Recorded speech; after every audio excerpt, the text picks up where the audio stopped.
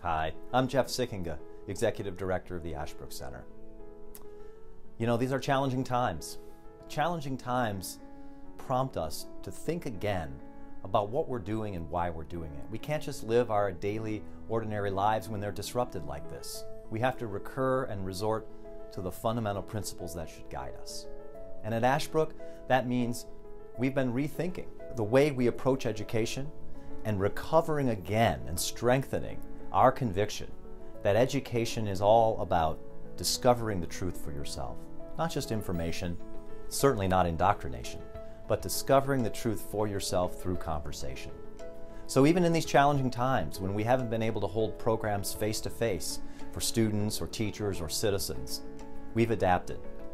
We've started a new webinar series for citizens that has been looking at insights from history and at American heroes. What can history show us about today's crises? How can we gain wisdom and insight from America's past? How can the character of our heroes show us what's best about America and how can it renew our understanding of American principles? These are challenging times, no doubt about it. But in these times, we find hope and purpose in the principles that have been given to us from our founding and in the legacy of freedom that we have in this country. So, thank you again for joining us in that endeavor. Thank you for supporting our mission of educating our fellow Americans in the history and principles of this country and in the habits necessary for self government.